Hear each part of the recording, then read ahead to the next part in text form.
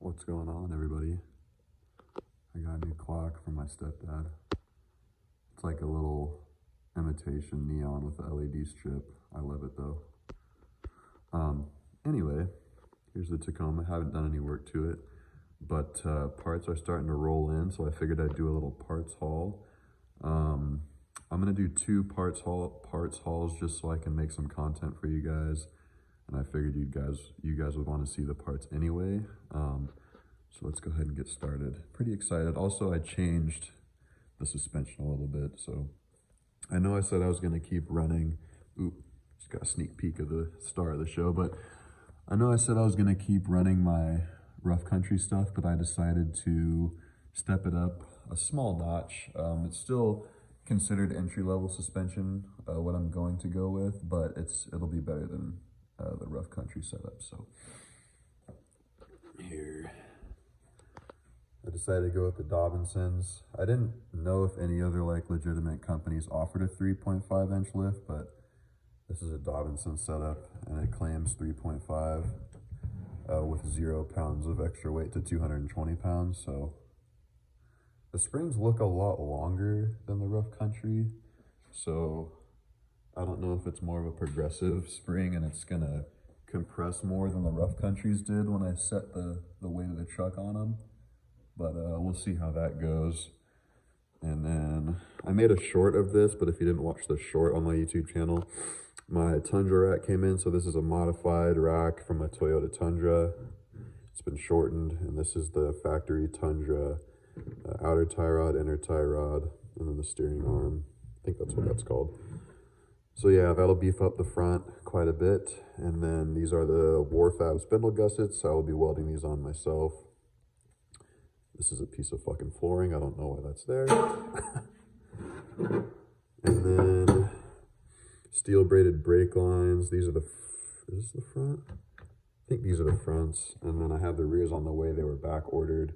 I bought these because when I had my G-Wagon on the channel, that was on 34s um, like a year ago, I did steel braided brake lines and it made a huge improvement uh, with braking feel and they just weren't spongy and it definitely stopped better as well. I think that has to do with the rubber expanding on the stock lines and then these don't get, have as much give for expansion when you put the pressure through.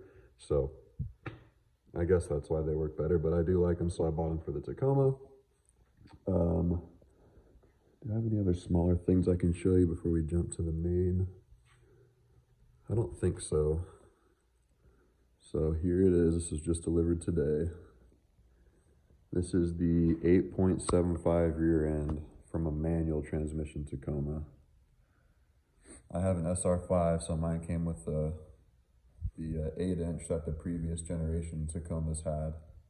This is the 8.75, which comes in the TRD Off-Road and Pro, and also all manual transmission Tacomas. The difference with this one is it's an open 8.75, which is like two grand cheaper than the TRD Off-Road or Pros. This is just from a base model uh, manual transmission Tacoma. And I've already ordered the ECGS uh, Harrop E-Locker and 529 gears for it, so I'm pretty much just gonna pull that off and then wait for the ECGS stuff to come and then I'll ship that to them because it's like a core exchange program. So yeah, I was pretty excited when the freight truck showed up today and lopped that off the back end of it. Super excited to get that on, get some more beef in the rear.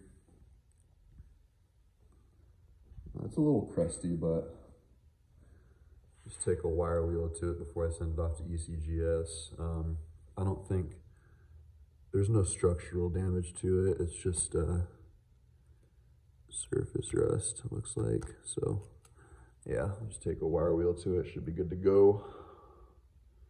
They might ding me for some uh, some core credit return, but that's okay. We can deal with that. So yeah, parts are starting to come in. I'm getting pretty excited. Um, it'll probably be another two weeks before I start working on it. Just waiting for all the parts to come in. So yeah, pretty stoked. Oh, I got this Badlands jack too. It dwarfs this uh, old Pittsburgh one. Just a Pittsburgh one? Yeah, Pittsburgh. the low profile one. That's pretty funny.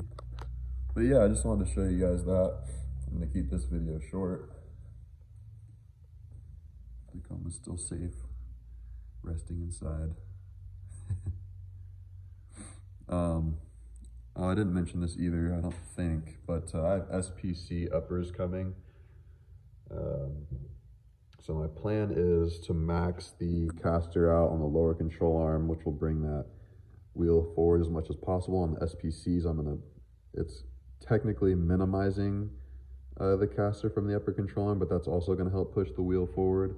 So once I get the SPCs here and I do my adjustments and put the, um, the cam tab deletes on the lower control arm, because if you remember in my last video, I said I have BTF Fab High Caster lowers coming. So once those are here and I put my adjustments in and get the tires forward as possible, I can start doing my tubbing because I don't want to start tubbing anything until I have all the geometry set how it's going to be because it, it doesn't make sense really to, to start cutting until you know where the wheel or where the tire is going to hit. So yeah, I figured I'd throw that in there. Um, but yeah, I'll, I'll do another parts haul when I get another load of parts in.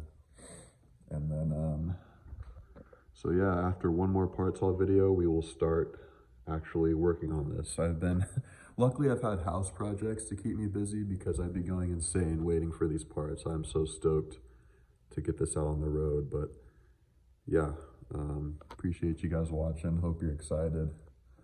I know I'm getting antsy, so I will uh, pick this up in the next one and uh, I'll let you guys know when more parts arrive.